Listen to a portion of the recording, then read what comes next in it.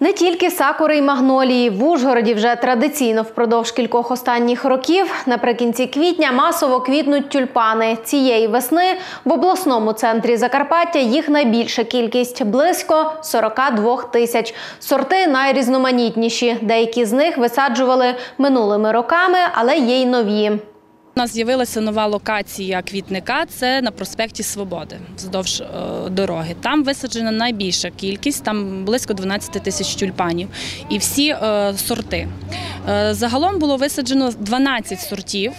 Найпопулярніші ці це Фабіо.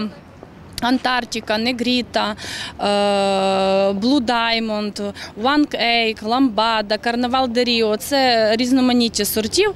Ну і ще в нас один квітник, е, новий квітники. Це на вулиці Воз'єднання е, біля Боздоського парку. Там також був новий вид е, сорт висаджений. Це Сан Лавер.